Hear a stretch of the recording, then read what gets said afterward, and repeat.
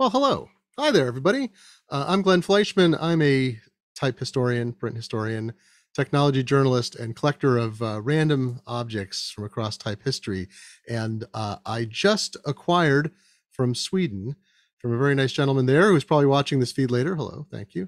Uh, a giant box of Peanuts Flong. And you may ask, if you don't know or you haven't followed the links on this post uh, what Flong is and where this fits into the to comic syndication, why it was needed, why it's so pretty to look at. So um, in this live session, what I want to show to you is I'm going to do the unboxing. I haven't looked at this. I've taken the lid off and just kind of poked at it a little bit. I have not looked at what the Flong is that's inside there, but I want to start with a quick Flong explanation, in which we can revisit later. You can ask questions in the live chat, and then I will try to answer them as we go. I'm keeping my eye on that as we go. Um, but let's start with this quick history of where a Flong fits into the um, the history of of type uh, and printing production, um, which again is my area of specialty. Uh, oops! First, I have to get a mouse. This is all very exciting to get uh, to get everything to work all at once. So I'm going to use my overhead cam and uh, mic will change slightly. But again, please ask questions as we go. So let's start with how do you, what do you need a flong for? What is a flong? Well, flong is part of the printing technology. It's what you need to reproduce something. But you're going to start with a piece of artwork like this. This is original art by my friend Matt Bors. And uh, this is an original drawn line art. You see there's no half toning in it. This is all solid line work and any you know differentiation in tone is in stippling or other kinds of effects and and so matt has heavy areas of black coverage and uh, the rest is white so you say how do i go from this to a newspaper page in the days of metal type when you had to be working with relief metal plates in order to print well here's what you do first you take a picture of this and create a photo negative and uh, I've got some. I'll link to this later um, in the notes for this episode. There's some archival footage at uh, at the Internet Archive that's from the Chicago Tribune, how they were creating newspapers in I think it was the 40s, and it shows this actual stage very very briefly. But so you take a, a photographic negative using high contrast films, only captures black and white of this original artwork. Then you expose that film under a bright light to a zinc plate. And the zinc plate is photosensitive. It's been treated in such a way that areas that are exposed to light, that is the lines and black parts passing through, uh, harden. And then it gets run through an acid bath. This can still be done today. It's just not as common. And you wind up with a metal plate like this. That's in this case, it could be magnesium or zinc. I think it's uh, zinc. And um, this plate is thus your negative transfer. So you've taken the original art, you've taken made a negative from it, and then uh, expose that onto a zinc plate. The areas that should be inked on a final newspaper page are hardened and the rest is etched away. So if I hold this up to the camera, you can see it's very shiny, right? Originally, I thought this was another printing plate, but in fact, this is an original. I don't know who kept this. Wizard of Id from uh, many years ago, many many years ago. Here, I can flip this for just a second, and you can see it the uh, the right reading version of it. So you can see it's the Alone Haranguer strip. Oh, it's hard to hard to do this when you're working left to right. Um, but so this is not how it looks in reality, but I thought this would be useful to see here. Uh, let me switch it back. So this is what reality looks like. And on the back, it's got this piece of a plate thing, micro metal or something. I don't know. And uh, so this is a very hard metal surface. It's not like lead alloy that's used for um, for printing directly when in letterpress days or on on uh, newspaper plate uh, uh, newspaper plates uh, the lead is a lot softer and it can, has a small melting point. This is extremely hard. So why should it be hard? It's because you're going to take this and under high pressure make one of these a flong so you take this starting metal plate that's been exposed right? So this is very hard. Under very high pressure you make a flong and the flong or mat or matrix mat is short for matrix uh, the flong is a perfect mold. And you notice it's right reading, right? You can look at this and you can see this text is the way it appears in uh, in actuality. So it's um, it's a mold that's going to create a reverse plate. So what does that reverse plate look like? Well, heck, I have some examples of that. Uh, here's a Doonesbury plate from the 70s. Pull a few of these out. And this is softer metal. You can see not so shiny, right? It's a lot less shiny. The back shows how it's been routed. It's actually been essentially carved and made uh, made smoother. Um, this is bizarrely, oh my gosh, this weighs so much. It weighs pounds. This is a Joe Palooka strip from the 1940s during the war. Uh, and it's uh, they made it type high, meaning you could print directly off it, which makes no sense. That's not how they were usually done. They would only make a plate about this thick, uh, just a few millimeters thick, and then raise it to the, the height. That's a, a Blondie and Dagwood from the 1960s. So you see, I've amassed a, a small collection. People saved these, even though these were used in the printing process. They would have typically been melted down uh, because there was no reason to save them. So, what do you do when you get a whole bunch of strips? Well, you stick them together. So, you, you take your flong. Your flong looks like this, right? The flongs were sent out by syndicates to newspapers all across the country. The newspapers would take the flong and they would make plates. They would cast individual flat plates. Then they would put them together into a newspaper page with all the text and everything else that went on a comics page. And they would produce something that looks like voila. This is a full page of comics with all of the text. Maybe a little, let's see how hard it is to see. I'll see if I get the lighting better. So this is an entire page of comics with, um, you can see other, you know, columns and so forth that appear on there. Um, these have all the classic strips on it. You've got Henry the Nebbs bringing up father, Tilly the Toiler, Thimble Theater starring Popeye. There's some old school Popeye down there. I got it. There we go. There's Dagwood and uh, Mandrake the Magician, Barney Google, uh, right? All of these cartoons. So this is a full page flong. I can't even fit it in screen here. It's so big because newspapers, remember, used to be very large. They're much smaller now. So that's the page, the entire page laid out with those metal plates.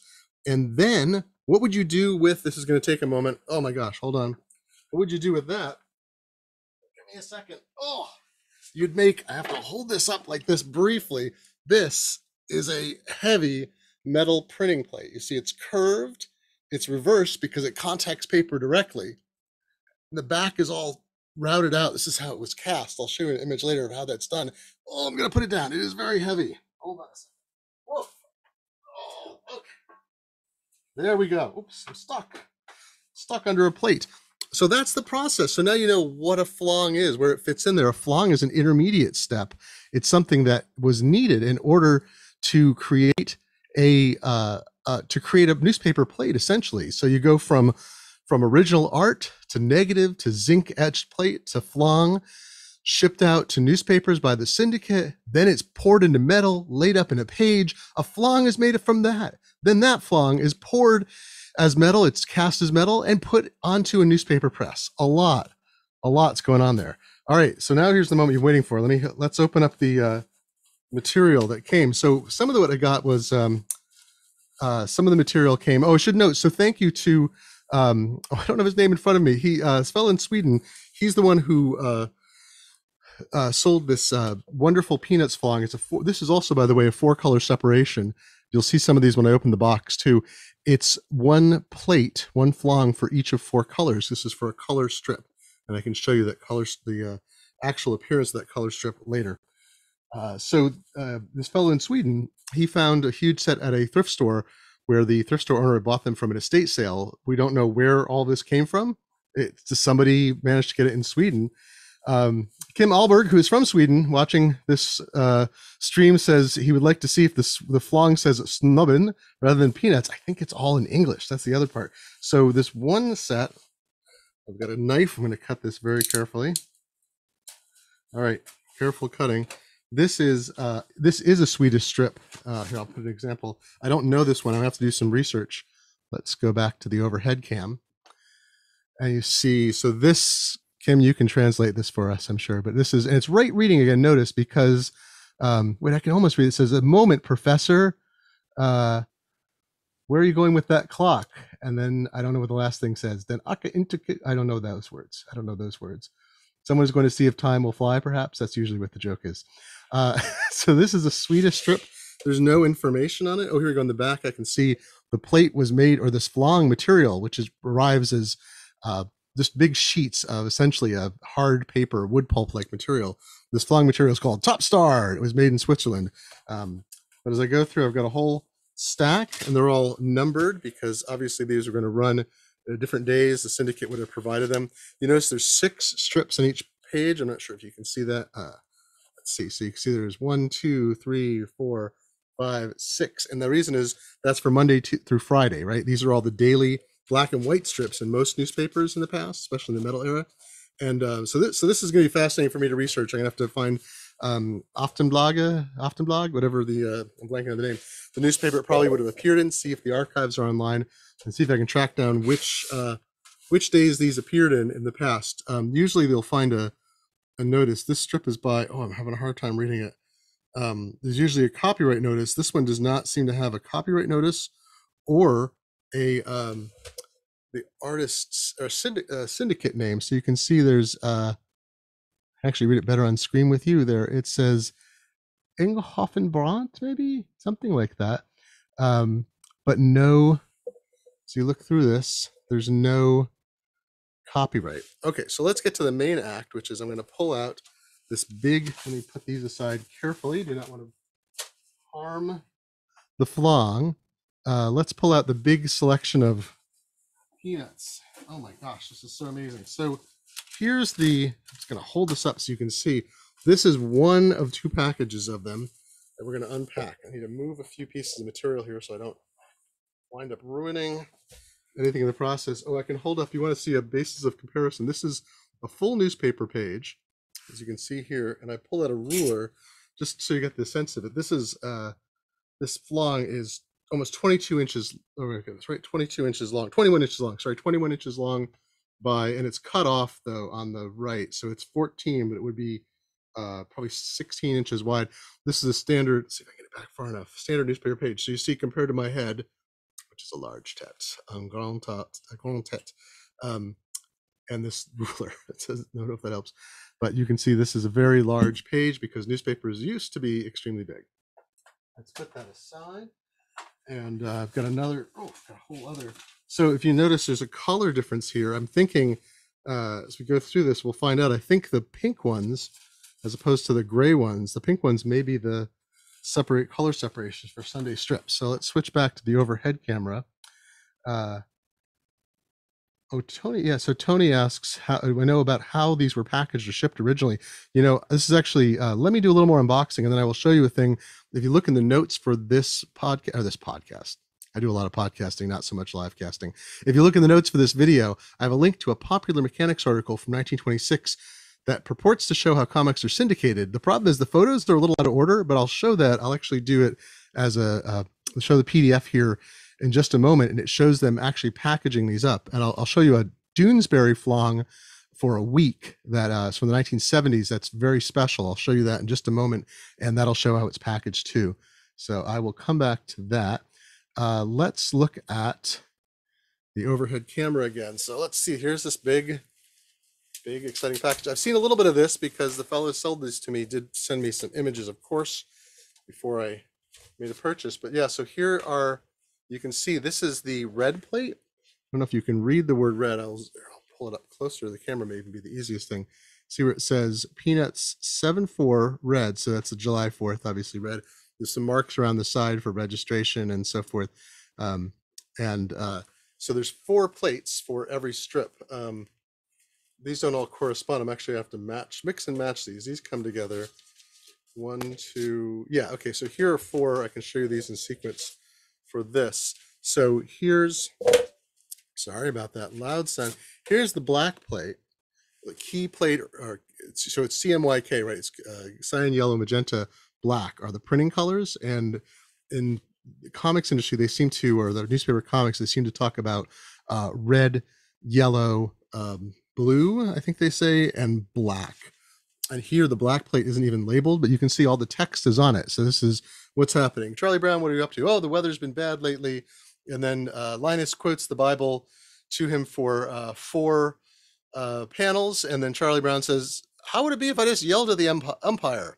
Uh, so this is labeled in the corner Stockholm, July 18th. Now, you know, there were a lot of, of English language newspapers around the world, and my suspicion is that these were sent off to an English language newspaper printed in uh, Sweden. And so I'll have to do some research to see if I can match that up. So this is, you see, it's the good news there is they wrote, someone actually wrote, 718 on it so I can, because there's no, um, well, I shouldn't say that actually if I look at it carefully. So there's the copyright notice so I can tell what year. So this is 1978, that says. And it says, there's also a date because Charles Schulz always wrote the dates in there. So that says 718 on there. So I know this is July 18, 1978. So I can go back and look these strips up. So that's the black plate. Here's the plate that's marked blue. And you see what's funny is they wrote it, it's actually written on the plate, and you think, well, isn't that going to reproduce? It's no, they would actually just fill that part in. So when they made a plate from this to go to lay out on the page in order to make the flong, in order to make the newspaper plate, they would fill that part in uh, and do other work to clean up the original. Here's a good, this plate is the red plate, but here's something neat. You can see, you know, this is this is a halftone reproduction. So it wasn't like you had to do line art to reproduce uh, to reproduce images in Flong. Um, so a lot of it's line, but when you're dealing with color, obviously you want tint. And I don't know if you can see, I'm trying to get this angled so you can see the halftone pattern. So uh, line art was very common for daily black and white because it reproduced best. But color, they would be using, well, it wasn't rotogravure, it was still uh, relief plates for um, comic pages, but they would want to get tints.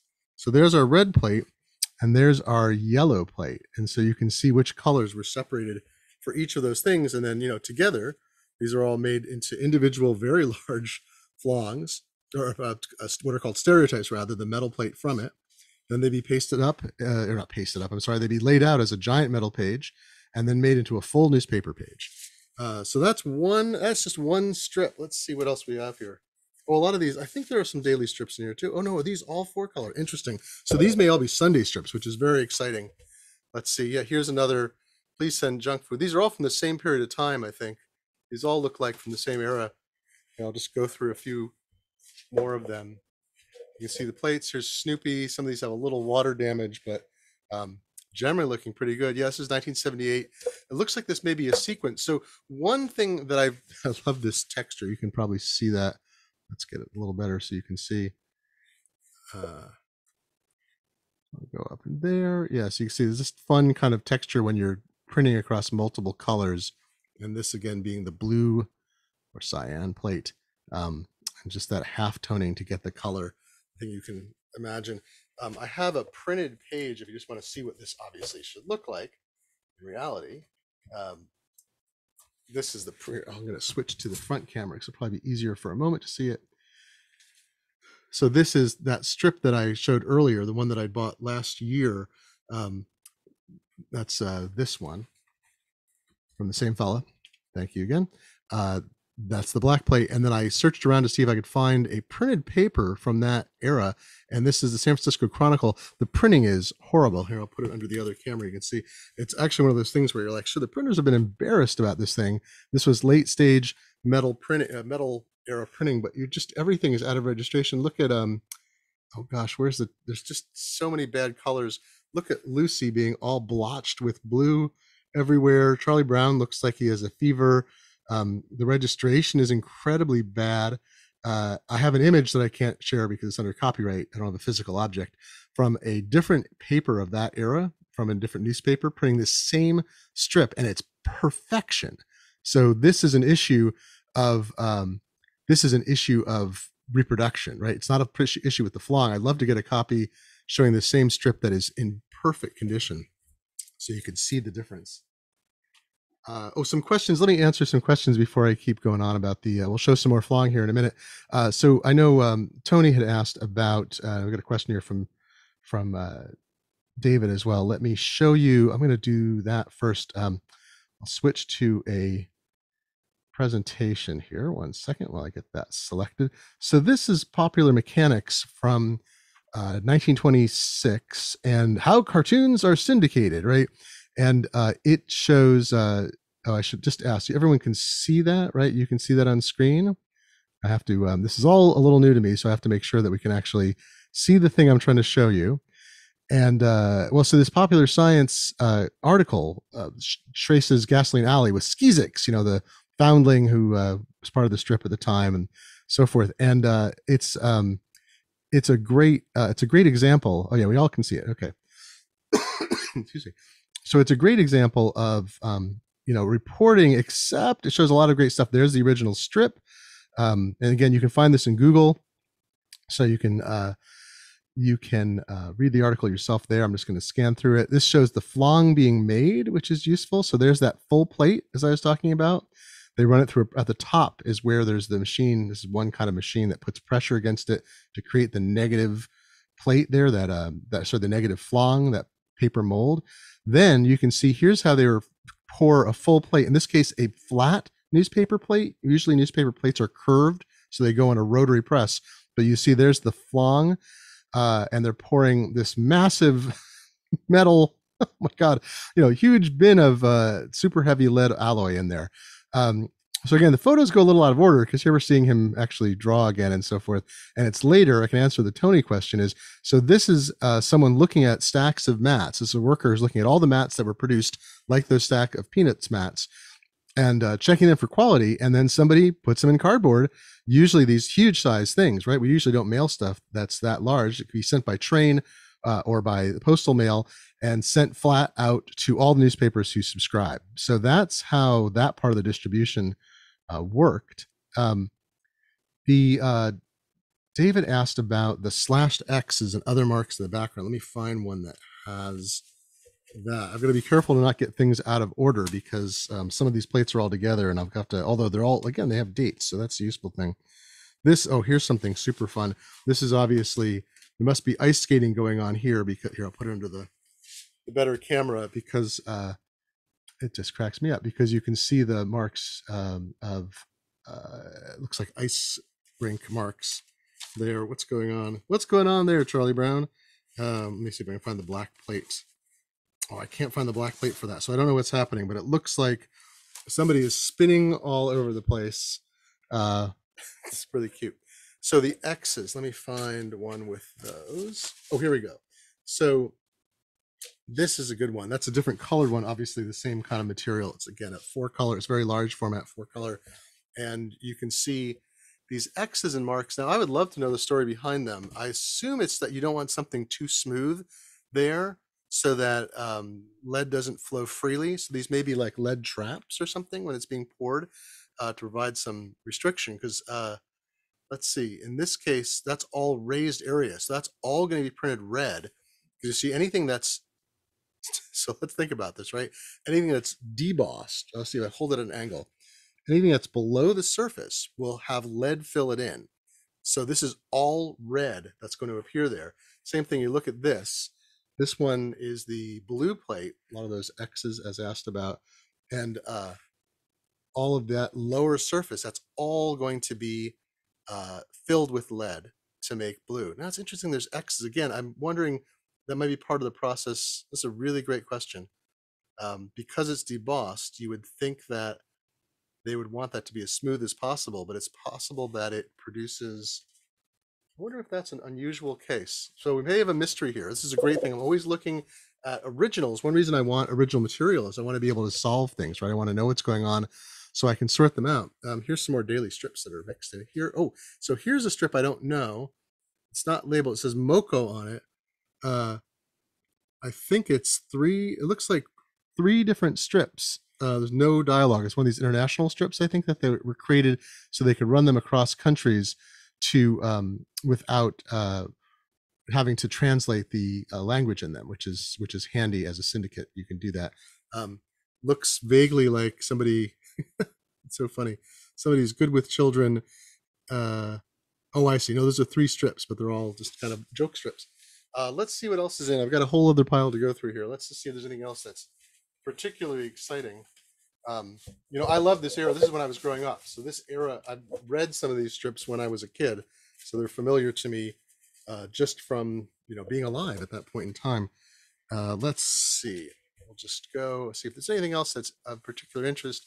You know, you got to love this. Is you also get to see a lot of the artistry of Charles Schulz because it separates out these elements. And of course, he drew these. You know, he he inked these or worked with inkers to create these in four color using a special process. They had to pick very specific ink colors to. Um, oh, hey, Tony has a great idea. You know what? Well, gosh, no, I don't know about that. Tony wonders if X means don't fill, And I'm really curious about that because it would have been very difficult since they're large areas. It would be hard for them to mask off. But that may be, boy, well, this is great. This is a great mystery. I'm going to solve it and you'll find it in future rating. Hey, and just by the way, go to glenn.fun. That's G L E N N dot fun for real. This is how you find me because I wanted an easy to say URL. Uh, and you can find other writing I'm doing and, and other work. So when I find the answer, I'll put it up there. Um, well, here's a good example. So here's another uh, flong. Uh, this is the uh, blue plate. And see, there's only some marks in that one area, but in none of the other areas, oh, those all have, oh, those have a slight amount of color. So I wonder if the X's marks would indicate that solid black, because if we look, you can see a little moire there. Those all have a slight tint behind them. Uh, but again, this is one of the things you know. I don't like to study stuff that's that's not interesting to look at. So if this were all just boring production material, I don't I don't know if I have this much excitement about, say, um, oh I don't know, industrial equipment manuals. There's some great history you can derive from them, and there's industrial historians, and there's other things you can derive. But I don't know if I'd be as excited to own huge sets of it uh, or photograph it and so forth. But you know, this is I love Charles Schulz. He had such a long and wonderful career and you get to see his work in different ways at a not closer level but it's you know it's not the newsprint reproduction it's not the clean production of a printed book of Schulz. it's not the um, you know the modern production you go online and everything is of course um, scanned well actually i think they're recreated from the original you see a four color work uh, four color sunday strip of um, peanuts online it is not of course going to be uh, the um, uh, a scan of a printed item. It's actually like a reproduced uh, four color image. So it's um, it's not quite the same thing. This is, gets us back to kind of the original, to that source material that I love so much. Uh, I am just trying to work out here. Let's see. Um, see what else that's if we have anything else that's exciting that I can pull out from this set. Um, you know, I'm always a good fan for Linus doing uh, Og. So let's look at a good Og there. Og. Uh, that's from same year. This is all. Wait, that says 1973. Maybe it was 73 earlier when I thought it was 78. Um, so one of the things that I'm thinking is that uh, is that uh, this newspaper never ran these strips because these are in perfect condition, and I have some uh, flongs that have been used, and those show scorch marks on the back. You can see uh, they're sort of falling apart. Most flongs were burned uh, or discarded after they were used because they had no purpose.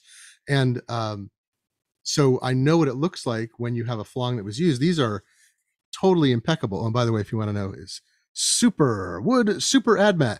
Uh, interestingly, was talking to a fellow flong aficionado, and the wood flongs, the company was named after the people who made the who founded the company. Their name was Wood.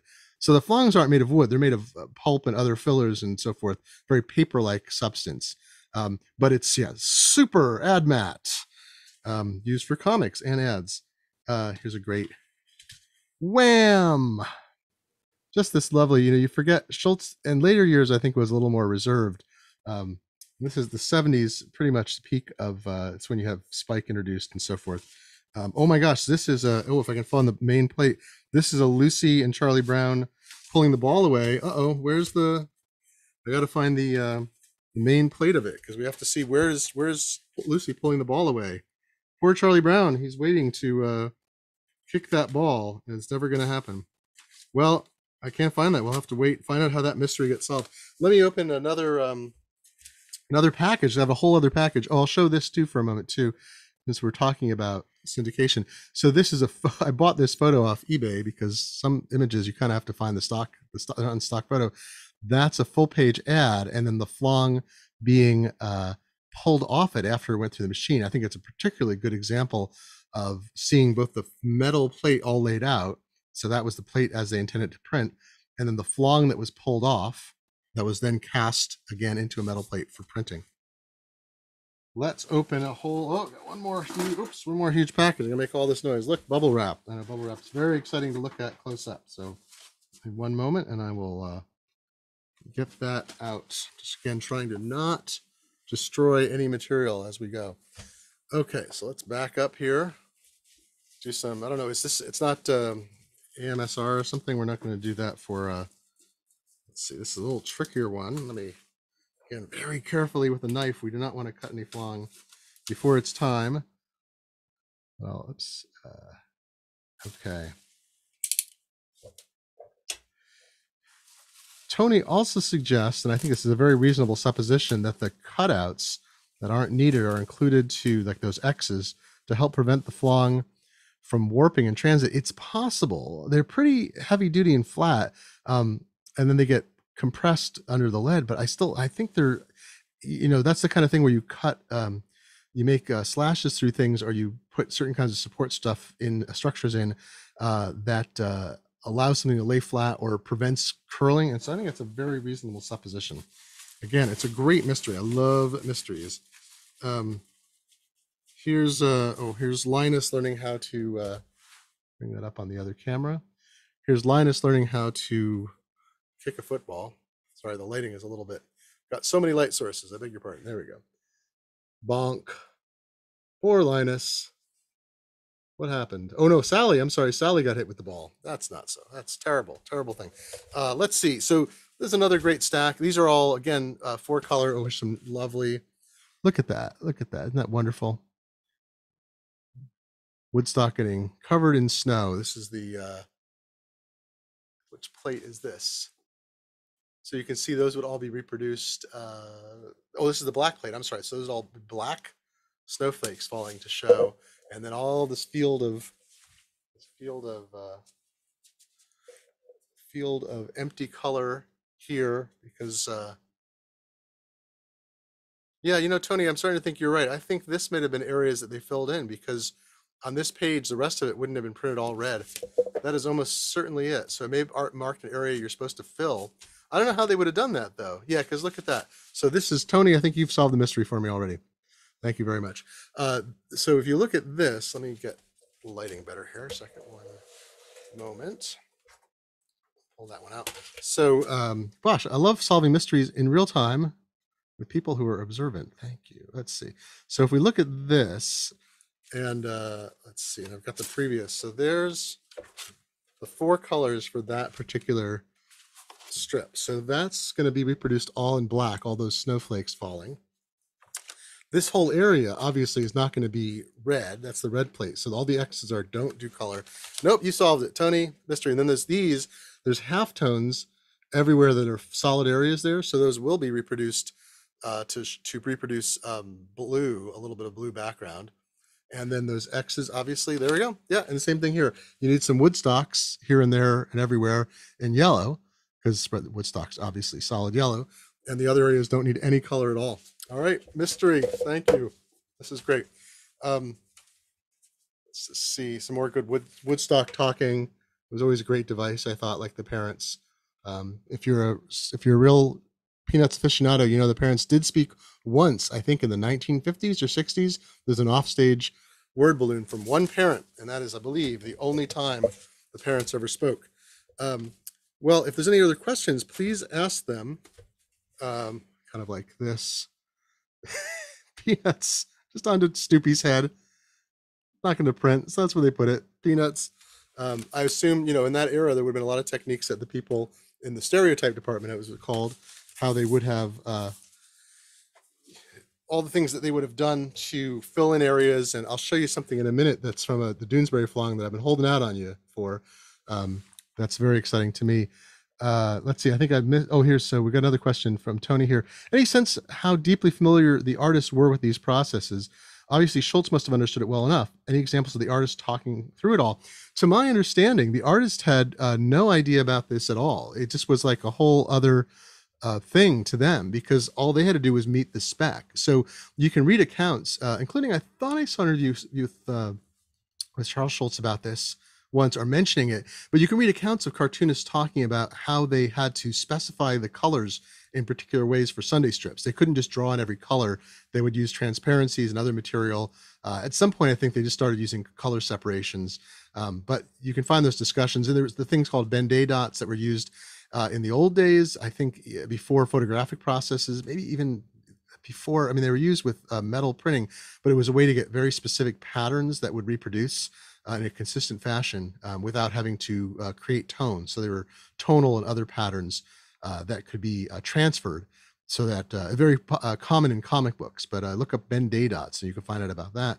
Um, I communicated with Jerry, uh, Garry Trudeau about these Trudeau strips. I'm about to show you uh, for an article that has not come out yet, unfortunately. Uh, that is. Um, uh, and I said, "Have you ever seen stereotypes, the Flongs? You ever know about any of that thing?" And he was working. You know, he started in the uh, late '60s at the Yale newspaper, and then quickly went into syndication. I think it was '71, maybe, or even earlier.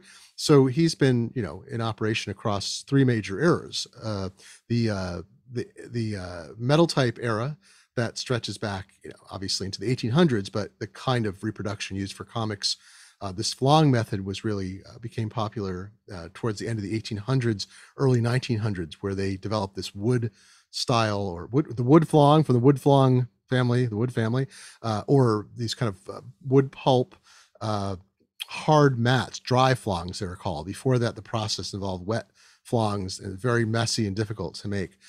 So these dry flong method made comic syndication.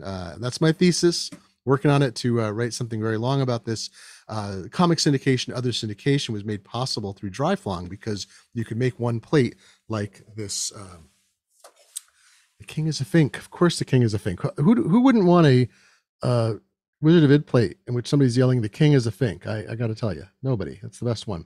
Um, so you know when you can make a plate like this, which you could in the 1800s, and then press Dryflong against it and create a flong like this with all the tint and tone and everything that could go through it, well, then you have the key to syndication. And uh, uh, so Trudeau was working in that era, right? Uh, that had been going on for decades and decades. Then we moved into the more photographic uh, offset printing era as newspapers shifted in the 70s and 80s wholesale into offset printing, which involves no relief. It's a just a flat plate in which areas attract or reject ink or water. And then you're using photostats um, you know a, a, totally photographic flat process. There's no etching anymore.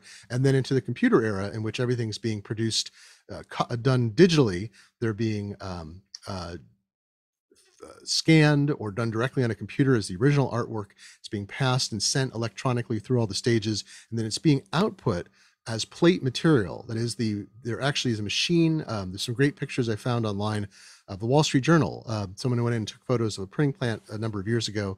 Um, the New York Times has an article about how their printing plant runs. I, th- I think it went up even during pandemic. Someone had taken the photos ahead of time, and uh, so digital files are output onto uh, the a piece of solid metal aluminum. It's flexible plate that gets wrapped around uh, the rollers on a plate for printing.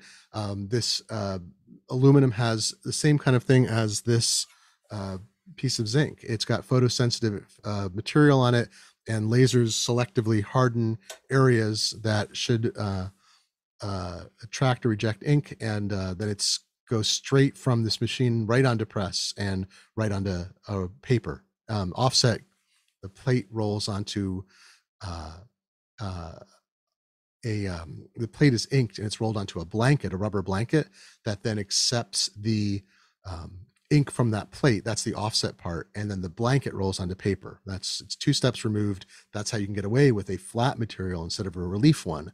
An offset plate is not printed directly onto paper but through an offset one stage offset. So trudeau lived through these three eras and he had never had any experience with any of the printing production methods now i'm going to show you that uh, let me put away some oh my gosh. So thank you for the peanut, looking through this peanuts flong with me. I'll have a long time going through that, this um, collecting and photographing this, figuring out the right way to do that. But let me show you, this will finish up with, uh, again, this is probably the prize in my collection. I'm going to take it out carefully from the, uh, see, it's careful plastic layer here, but I'm going to show you a couple interesting things about it. Um, meantime, I'll ask. Uh, oh yeah, Tony asks if the Winsor McCay stuff, were, uh, the earlier color comics, were they flongs or pre-syndication? I'm still running that down a little bit. I can tell that um, newspapers would have used flongs in house, but it's unclear. Uh, they were using in flongs from maybe the 1850s or 60s because it was the only way to. Um, there were all these hilarious experiments in trying to print with type like screwed into um, rotating cylinders, and the type would fly everywhere. So once it was possible to, um, and you need a rotary press because a rotary press can feed paper through in a roll and go extremely fast. So you in order to print a lot of newspapers and larger sections of newspapers, you need a fast press. To print a fast press, you need a way to have plates that can be cylindrical. To have plates that are cylindrical, you need flongs because you need to cast a metal plate that's full of type and other elements. You need to make that into a solid piece that's not going to fly apart. So I have this contention that flongs and stereotypes, the metal plates, are actually the reason that newspapers were able to to match um, presses, newspaper presses improved in their performance and speed long before the methods that you could typeset and produce pages improved. So you had the linotype come in the 1880s, so relatively late. You had flongs arrive before that, and then at some point they all kind of meshed up there, and you go through this massive expansion in print runs, numbers of newspapers, and sizes of editions uh, after the linotype. Because the linotype, the flong, the rotary press all together make for the ability to produce extremely affordable, um, high volumes of material. So Winsor McCay, I don't really know. I mean, you can find he did original watercolors and things, and they would have had to do uh, color photography of that and separation. I don't think he was painting onto transparencies.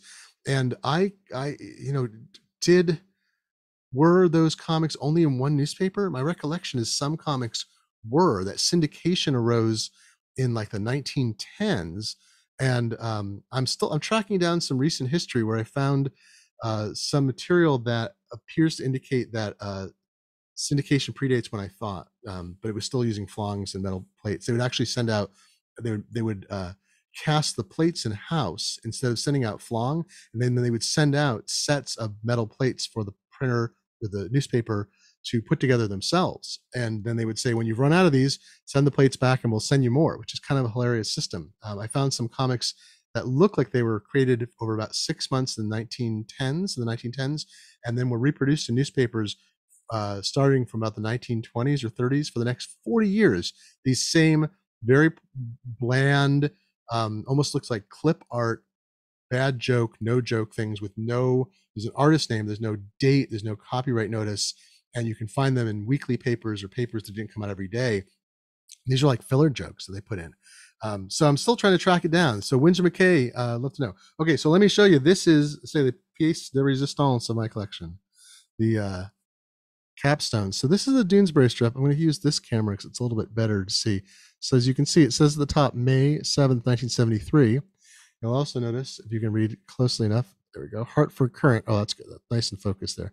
So these these strips, see there's one, two, three, four, five, six of them, right? And at the bottom, it is stamped. It says, as you can see, oops, look at it really close, Universal Press Syndicate. It's got the week that's supposed to go out and uh, their address and so forth, right? So what is this?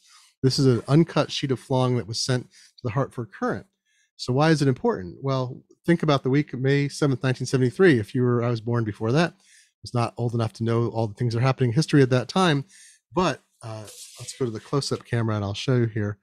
The uh, the thing that makes these particularly interesting is that a couple of these strips never ran because John Ehrlichman, uh, one of Nixon was Nixon's chief of staff. No, I, wish I remember that right on hand. Uh, he resigned, and some of the strips referenced this whole week was about Ehrlichman, and so suddenly this, these Ehrlichman strips don't make any sense because he's not in there. So Trudeau at that time was doing his strips four or five weeks in advance, and uh, after this point he was not. He was doing them delivering as little as a week ahead of time, and the syndicate would have had you think about this whole process of producing uh, flongs and getting them out well they had to produce his awfully fast um, but his were topical you know and it was they sold newspapers a syndicate and trudeau made a lot of money off them so they did it but um this is not the famous guilty guilty guilty strip but it's there's another mark um i'm blanking out mark's last name that number again and it's uh trying to get people to call in. There's mark at the radio station. Maybe it'll come to me. Um but so a couple so there's of these strips if you go look at the archives you can find that uh, four, sorry, three or four of them ran in essentially a similar format. Uh, I think two, say two never ran, and one has nothing to do with Ehrlichman. It was the Saturday strip. So the weekday strips, Monday through Friday. Um, oh, I said earlier, by the way, the six, there's the strip of six from Sweden. Of course, that's Monday through Saturday. Those were the black and white days for most newspapers. Um, some modern newspapers also do uh, color on other days of the week. Obviously, do them on uh, I don't know if anyone's still doing that. Maybe in some other countries, there's color um, for the comics and other days, and so that, that was very rare for an enormous period of time. Comics were always black and white, except for these Sunday editions. The Sunday editions would be done. Sometimes the comics were printed a week ahead of time, or even more, because they could repair those and put those sections aside between printing uh, the more pressing, you know, multiple editions of a newspaper a day. So um, this strip, this is what's interesting, is this went to the Hartford Courant uh, it was supposed to run the week of May 7th, 1973. It did not. Somebody there thought, hey, this must be important. And they stowed it away and kept it for almost 50 years and then put it up on eBay. And uh, I noticed it and purchased it.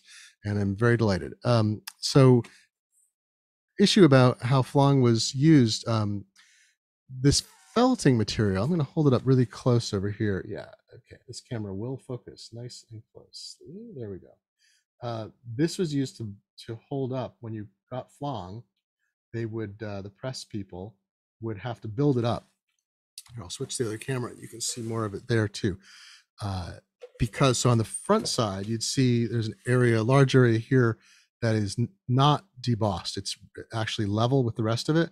So that um, not being debossed, it could sink in when the mold was being made because there's nothing behind it. So then you'd get these blotchy areas.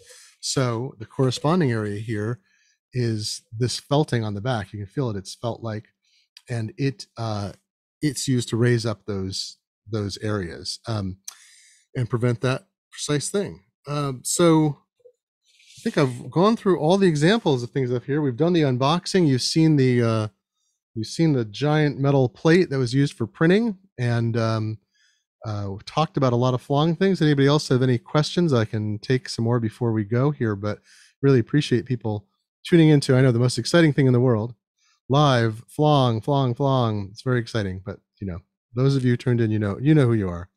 We all like this sort of stuff. Um, I find the whole thing, you know, uh, one of the reasons I study this and I find it fascinating is because I feel like it reveals a lot of aspects about, I don't know, like uh, limits to creativity, production process, um, how things were made.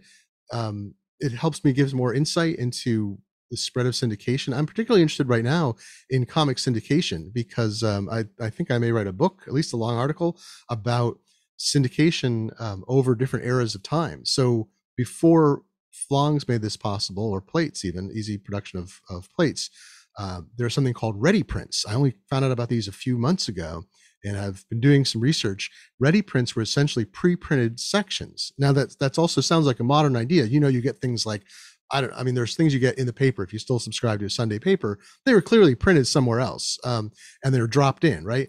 This is the same kind of thing as a newspaper or a, a syndicate would produce some kind of special section called a ready print. They would sell it to newspapers across the country, and it could be like a couple sheets they would bind in, could be entire sections. They could even cust- customize it with some uh, advance notice from a given newspaper. And so ready prints were something I, am trying to think. I think I saw them uh, back as far as the 1880s, and I'm trying to dig that up. But so some of those things included like uh, newspaper columns and art and illustration. You know, comics, of course, is a modern thing. Uh, Dave Malki, who does the ca- cartoon strip uh, is kind of a historian of the late 1800s uh, bef- because that's where he mines the material that he uses to combine into his strip. And he said, you know, what's happened clearly is that you ha- you can see him talking about this. I'm sorry, I'm quoting from the movie Stripped that was uh, created by uh, uh, my friend Dave Kellett and Fred Schroeder. Um, they uh, made a great movie several years ago about the history of cartooning, and it doesn't get into print production. But Malki note, David Malki notes that um, the all these uh, fine illustrators of the late 1800s um, doing wood engraving that produced this huge outflow of graphic material. Uh, there were entire newspapers that were just full, uh, like weekly newspapers. The, the, the graphic, I think it was called London. There's another like London Weekly Illustrated, Harper's in America, Harper's Weekly. These um, newspapers and uh, publications would um, have people working constantly. These fine wood engravers producing massive, sometimes you know, showing that newspaper page that's so enormous pull that out. Yeah, so this is how big that is, right? So people would be producing woodblock engravings that were this size or two full two full pages of that, right? And um, all those wood engravers, well, what happened to them when uh, half toning was developed, photography and then half toning. So you get into the 1870s, 1880s, and these people who'd made a career for decades doing wood engraving and helping drive the market for newspapers and weekly newspaper weekly publications. Uh, David Malki says they all they didn't all become cartoonists, but they had all the skills necessary to shift into illustration and uh, cartooning, and that's when you see this big the start of cartooning and then the explosion because it was used to sell newspapers. So I'm sort of fascinated. You have this period where cartooning, illustration, and cartoons rise. You have the ready prints. Then there's some era I don't fully understand where syndication started happening, maybe with the metal plates only, not flongs. Then you get the hard uh, dry flong method, and that's you know all the examples I have. I don't think I have anything that's from before the 1920s in my collection of newspapers and other things, and all the flongs I have are much later. I mean, this Joe Palooka. I'm going to pick it up again. It's going to hurt me. Hold on. Oh, hold on. Lead weighs a lot. Lead alloy weighs a lot. So this plate, it's going to see how thick that is. It's so here. I've got a got a scale here we can look at it on. So this is a. Oops, you can see it's eight inches. Oops, hold it up. It's eight inches wide. This is the size of a comic strip in those days, right? It's eight inches wide. Um, and how thick is it? It is well, it's 0.918 inches, which is the height that type needed to print or any kind of object on a press.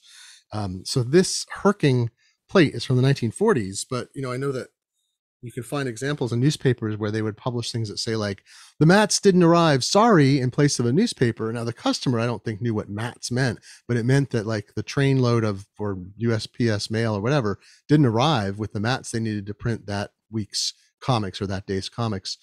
So uh uh the uh there's that era I'm trying to sort out. But so then once you get into the period where I'm starting to find things I can, you know, that you can collect, that people have kept, there's examples of both uh, stereotypes. I haven't found too many older flongs of comics. We know how that like 60 or 70 year period works. Then you get into photostats. Interestingly, hard time finding photostats of comics, which would have been sent out by syndicates. Instead of sending uh, sheets of flong, they would send sheets of photostats that were used for reproduction. Same thing, package them up, send them out photographic process, just no metal or etching involved. Um, and then, of course, once you get past that into the era of sending a file or a disk, whatever, there's no trace that I can find of that material, even though it must exist. Um, I don't, I can't find floppies of Doonesbury anywhere. So um, anyway, that's kind of the history of things. Uh, Oh, Tony was asking again, sounds a lot like the origin story of William Blake in an earlier era with etching. And it's true, like every time people develop new techniques of illustration or new kinds of illustration, um, you know, there's a, often a commercial aspect to it.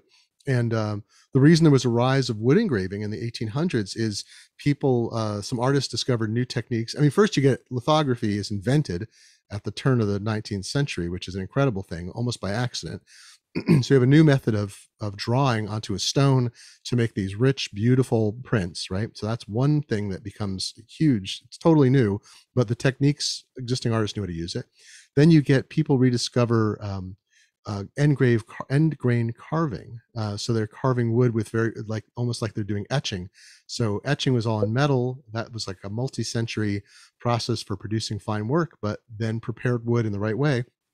You could create these massive illustrations and produce beautiful work with extremely fine detail. And so you'd have artists who would draw, some of them would also do the wood engraving, others would hand it off to engravers. You'd have teams of engravers executing designs producing thousands of illustrations worldwide a week, maybe tens of thousands on that scale. Uh, then you have the halftone events, right? And those people have to go away. You have the because there's not a demand for it. It's a very expensive thing to do wood engraving and reproduce it. So suddenly the halftone takes over, photography takes over. People reinvent themselves. So just like web comics, the the web cartoonists of the 2000s and modern era are you know recapitulating the same story that has uh, occurred uh, time and time again for cartoonists and for all visual uh, artists, all graphic artists. And uh, again, I'd recommend the movie Stripped. It's available on all kinds of streaming and uh, downloadable platforms, uh, uh, download to buy uh, platforms. and it's a great, it's got a great Bill Watterson cover, and it explains kind of a. I mean, I'd love to make a much. It's going to be a little bit more dry version of that movie because it's a little more on the production side. But I'm working on. I'm actually working on a a video that'll explain this whole process with um, a stock. There's there's a historic footage I mentioned. There's like that popular mechanics article, the artifacts I have that I could photograph and put in place, and kind of show the entire process from end to end, and why it was such a big deal, how it was done at a mechanical industrial scale. Uh, well, I think everybody may be exhausted. We're almost up here at an hour. Appreciate everybody for tuning in live, and if you're watching later, hello. Thank you for uh, thank you for coming. If you'd like to know more about this kind of stuff, well, I have a lot of resources for you. If you search on Flong, F L O N G, on Google, you will find many things I've written and many articles I have, or many photographs I have taken. Uh, if you go to my Flickr account, it's Flickr is I'm Glenn F G L E N N F at Flickr. I've got albums uh, of pictures of flongs. I'm going to be adding, as I take photos of these new Peanuts and Swedish cartoon flongs, I'm going to be adding those to uh, my Flickr collection because it's a great way to distribute it and license material under Creative Commons. Uh, there, you know, there's a copyright issue. I'm sure people have thought about this because we live in a difficult era. Hey, here's Glenn showing Peanuts cartoons. Isn't Glenn going to get arrested by the copyright police? And of course not, because I'm using this for educational purposes and for critical purposes. Uh, I'm not using it for reproduction. It doesn't re- reduce the value of the original, and it's not, you know, per se commercial. There's a very tiny element, um, nothing direct. I'm not selling these or making prints from them. If I cast these Peanuts comics uh, the flongs into plates and then printed them, well, that would be a whole other thing. I think the Schulz Estate and uh, Universal, uh, United Press Syndicate, whatever it is. I'm sorry, I should know their name by now. Um, they would probably have real issues with me and, and could sue me for copyright violation. But um, you know, I can take pictures of this and show it. This is for um, societal good and so forth. So you'll see me posting things like that.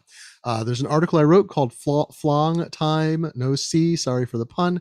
That's at Medium, and there's a link in the notes for this video. You can just click to go there. Um, you can find I've uh, one of the things I worked on for the last uh, few years is the Tiny Type Museum, and uh, this was all they're all sold out now. I made a hundred something collections, but you can see pictures of this online. Uh, it's genuine type artifacts, and uh, in the process of researching this museum and collecting uh, items for these these sets.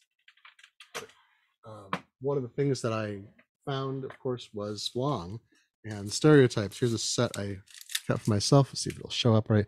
This is from a newspaper column. For some reason, uh, I was able to find stereotypes made that were reproduced for a newspaper column. I don't know why I have these. I don't know where they came from, but I found the columnist. It was a syndicated columnist, and he actually drew these. He was an artist and a syndicated columnist.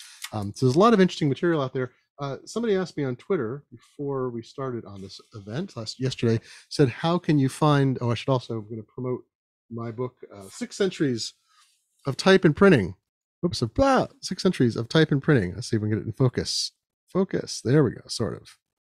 It's tricky to get focus. Um, this is a book about the history of printing across, uh, you know, six centuries, obviously, and um, about the from a technology focus. Letterpress printed, uh, set in monotype, hot metal, uh, bound in Germany. It's an exciting book. Typeset in England, printed in England. Um, so anyway, someone said, "How do I find these kinds of materials if I'm interested? Where do I go and find comics longs?" And I'll tell you, I tell you, I've just been haunting eBay. Um, occasionally, you'll find things on Etsy. Uh, occasionally, people will post things in uh, other places. Um, there's other sites like Briar Press is a site for letterpress people. Sometimes people will find things and post there that they want to sell them. They don't know what to do with them. Uh, there's some people I know who collect and resell type materials. Uh, if you're actually, if you're deeply interested in uh, getting in touch with people who collect and sell letterpress materials, and that sometimes includes oddball stuff like flong and stereotypes. Um, there's a fellow named Larry Leonetti who an invaluable help when I was doing the uh, type museums because uh, he found a lot of interesting little kinds of artifacts people don't care about as much, and that included some stereotypes and flongs. Great stuff from him, but he's not. He he sells stuff on eBay from time to time but can be reached directly. Uh, there's a couple people in the UK right now. They're having a heck of a time shipping and selling to the US, so they don't do that anymore, I think. Um, but if you're overseas, you can contact. I can get you in touch with them. Uh, mostly letterpress, like wood type. Um, there's apparently a hundred million uh, cases full of wood type all over England in barns that they keep finding. Um, uh, it's I think the U.S. I think we cleared out and threw things away more quickly, or stuff is moldering in warehouses in the Midwest and and uh, other areas, rural areas that nobody knows is there. But in England, it's just in everybody's shed, and every shop seems to have a supply.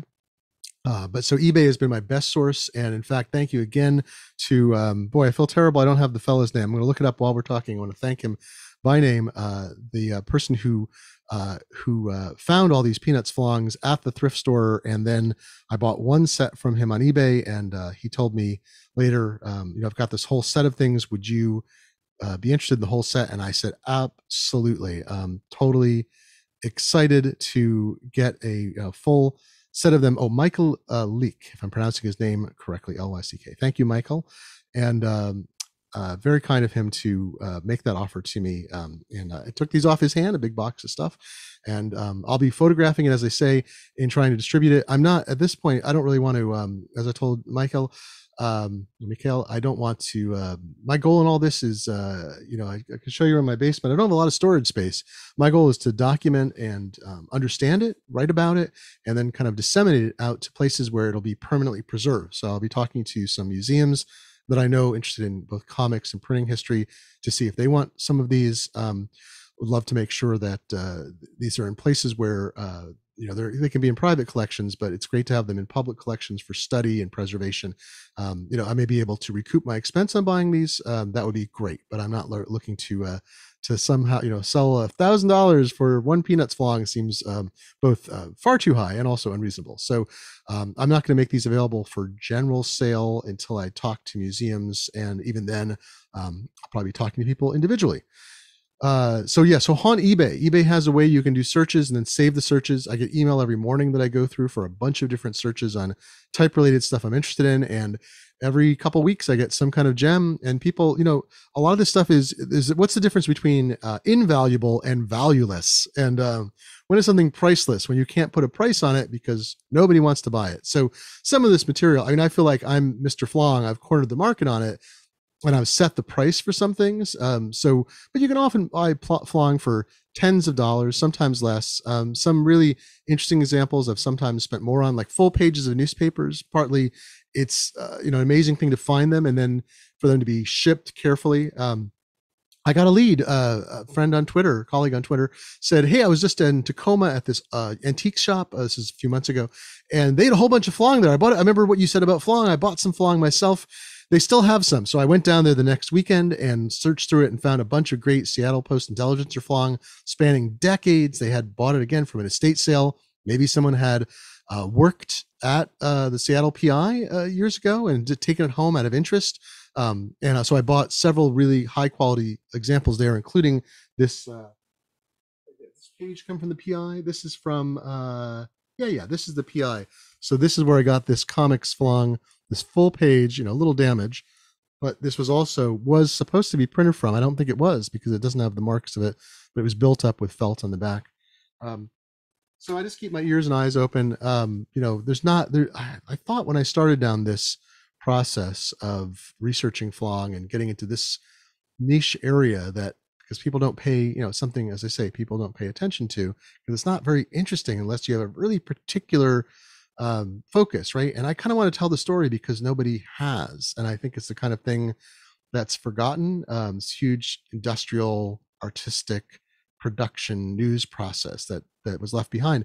So um, I thought there just wasn't very much of it. I thought there might be hundreds of, I don't know, I mean, hundreds of pieces of Flong, but very little. I'd never seen any. Um, I, when I visited uh, the type archive, this is a story. Sometimes, you know, things uh, uh, bounce around in your head and later you realize what was said.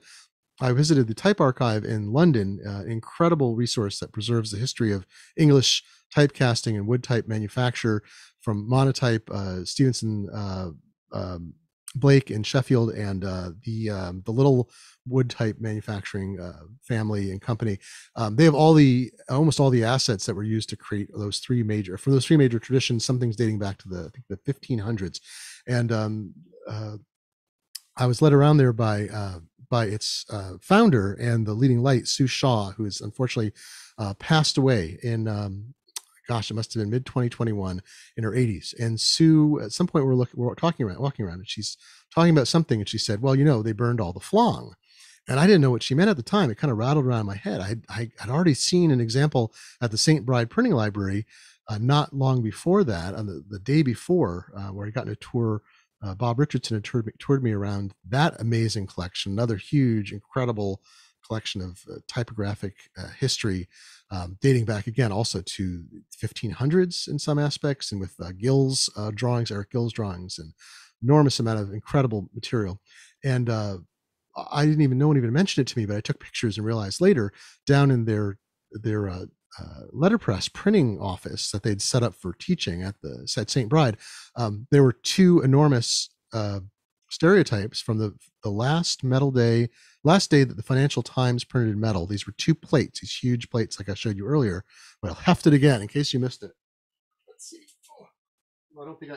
I'm sorry. I feel like I can't. I cannot get it the the uh, plate up. It's all the way on the ground. Anyway, so um, uh, there were two giant hemispherical plates, and uh, uh, and also some flongs. I didn't know what they were.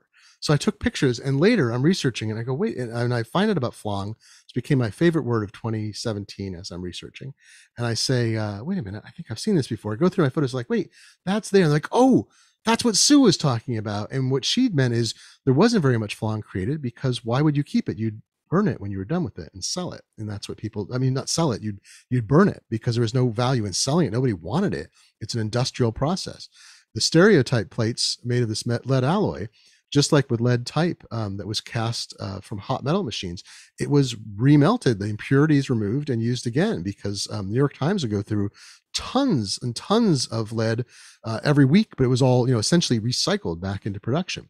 So anyhow, I thought, well, there's not much flong left because most of it was destroyed then I start to find weird things. Like people are, you know, I find these stories. Somebody on Reddit, it's like, you know, I rented this house once and the entire interior of the attic was coated in this weird paper mold. I think it's flong. And I find a story, uh, a Spokane, Washington news uh, station. You can still find it uh, archived a few places. I think they called it Flong Time No See too or something like that. And um, they have a story where somebody, they're pulling the, the, uh, clapboards off their house, the side, uh, the shingles, and they find flong underneath. They don't know what it is. They call the history museum, like, oh, it's somebody must have worked at the newspaper. It's great insulating material. It's wood pulp, right? Uh, and then I'm on eBay and I'm like, well, I'll buy what I can. All these weird ads. I'll buy some of this stuff because I won't be able to see it again. And then over time, people are selling maybe because I'm buying flong and a few other people I know are. I see more and more flong, and so I have a, a three uh, large uh, museum boxes full of uh, newspapers from think the oldest, like I say, is 1919, 1920, something like that, through uh, the 1970s. Um, I've got these examples of comics flong now, a huge amount more with this Peanuts collection. And uh, my point is just to sort of collect a lot of examples, photograph them, and then you know keep some stuff for study, but then get it to institutions. But I, I'm guessing there's hundreds of thousands of flongs, maybe millions still out there and uh, the kind of stuff you can get includes you know this comic stuff is really interesting because it's comics. You get to see you know directly into the process and so forth. The newspaper stuff is interesting historically because newspapers often produced multiple editions sometimes up to 10 editions a day. So it's sometimes interesting to see the front page of a newspaper. Maybe that copy was never actually um, a copy of that edition was stored and, and uh, archived. So when you go onto newspaper uh, digitization sites, they will typically have, but not always, just one edition, uh, one front cover, and one edition of the day. They're not uh, scanning 10 different editions or 10 covers. So um, there's aspects of that that are interesting, but you can also find there's tons of advertising flong. Uh, there's movie advertising. Oh, if I move my, let's see if I can, let's see if I can uh, get an image here. I don't know if I can. Let's see. I will swap over to the other camera. I'll show you something. There's a, if you go to New York City, go to Manhattan, and what you will find there is the Alamo Drafthouse is, let's see if I can, can I zoom in? I can't. See that poster at the bottom? It's a little hard to see. Um, that is, uh, thank you for them because I helped them with some flong consulting. Uh, how exciting. Uh, it was, uh, they have a place called the Press Room. Oop, there we go. Uh, they had acquired the uh, Alamo Drafthouse acquired this enormous collection of uh, printing blocks by an outfit that made uh, all the movie advertisement um, metal plates that were then produced for or sent out to newspapers. So an ad agency would produce, you know, many different sizes of ads that would go into a newspaper, um, and then they would have to get that produced into flong format. So there's a place in the Midwest that did this, and they kept their proof blocks for everything they did. So they have, I think it's 60,000. And when the place shut down, the stuff got kind of sold around, went to a thrift shop again. A couple who were antique salespeople or antique buyers went in there and bought the whole thing because they didn't want it to go to waste. And then they eventually were able to work a deal with the Alamo a few years ago, Alamo Drafthouse, and sell the entire collection of them. And it includes a number of flongs, but I think again, like 60,000. Um, so it's the press room NYC and you go and visit and they have a whole bar that's, they've got the blocks, many of the blocks behind glass they have flongs. Uh, there are labels explaining the whole thing. And I did a pass of editing and uh, other stuff on that. So you may see my hand a little bit in, in the uh, museum labels that explain the process of uh, making flongs and stereotypes. And you can, they actually have a printer on staff. So a person can make you, uh, can take down blocks and print stuff for you if you're there at the right time. So they sent me a very nice poster of all of, uh, they're all Elvis posters. Um, but so you can find movie flong out there and movie blocks sometimes. Um, and then there's clip art flong. You can see pictures of that if you go to my Flickr album, uh, where newspapers every month they would get a set of sort of generic clip art that they would use to fill in empty space uh, in the metal days because they didn't want to create the art in house. You know, stories short, they need to fill something. They want a banner, a holiday banner, and they don't have an in house artist. So they would use this clip art flong just like you could later buy it in books or buy it it's you know services would offer it by photostat later. Uh, so um, all that's out there in great abundance. I mean i've i've seen pictures. Some people have shown me a photo and they'll be like oh yeah that's all flong and it's like you know floor to ceiling it might be 20000 pieces of clip art flong so is that valuable to anybody? I don't know. I mean some people i think i saw there's a piece of flong up that's like $1500 right now on ebay maybe and i've seen a stereotype. Someone was trying to offer the stereotype from the uh, dallas morning news um, the day that Kennedy was shot for the uh, the uh, front page, and I think they wanted twenty thousand dollars. And I'm like, well, you know, it's not. It is an artifact. It's from that time. It's a real thing. It was made then. It was used to print the paper. But how much do people care about that, right? Is that worth that much? So, um, you know, you can, and I negotiate sometimes with folks. I don't want to lowball them on anything, but um, you know, there's a value that I think is worth it to me, and there's a value of preserving historically. I want to buy it in order to make sure that it's preserved and uh, give someone a fair value for what they have.